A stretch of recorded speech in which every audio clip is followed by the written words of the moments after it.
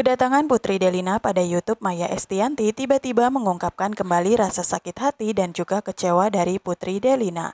Awal mulanya permasalahan saat dulu adalah ketika Putri mengunggah fotonya bersama dengan almarhum ibunya. Dan kemudian Kang Sule pun mengomentari jika pertamalah yang lebih baik dan Kang Sule masih mencintai mantan istri yang kini telah tiada. Hal ini yang dulunya memicu rasa sakit bagi Natali dan juga seperti tak dianggap oleh keluarga. Putri menganggap sikap introvertnya lah yang membuatnya sulit untuk melupakan sesuatu dan juga membutuhkan waktu. Walaupun Putri sendiri sudah mengatakan jika semuanya baik-baik saja, namun dirinya juga masih sering merasa kesepian. Merasa belum menemukan sosok yang bisa menemaninya dan mendukungnya di setiap saat, seperti yang dilakukan almarhum ibunya. Dengan ramainya perbincangan yang mengatakan sakit hati Putri Delina terhadap Natali, membuat akhirnya Natali datang ke YouTube Uya Kuya, dan di sinilah mereka mulai membahas segalanya. Natali cukup terkejut dengan segala pemberitaan, pasalnya mereka dalam keadaan baik-baik dan tak ada masalah.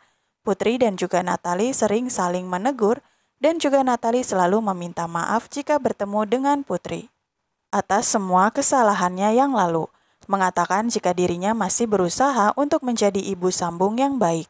Uya Kuya sempat mengatakan jika sebenarnya Natali dan juga Putri seakan belum selesai dalam masalah itu, sehingga mereka harus lebih dekat lagi dan sama-sama untuk mengungkapkan apa yang masih membekas, dan saling maaf-memaafkan satu sama lain, sehingga masalahnya bisa clear. Namun sepertinya percakapan mereka masih agak canggung karena Natali sendiri sadar dirinya hanyalah ibu sambung, dan tak terlalu bisa banyak bicara. Natali sendiri sudah berusaha untuk mengajak Kang Sule agar membantu mereka untuk bisa berbicara bersama. Jika masih ada yang mengganjal, karena bagaimanapun Kang Sule adalah ayahnya yang bisa mendudukan mereka berdua dan menyelesaikan hal ini.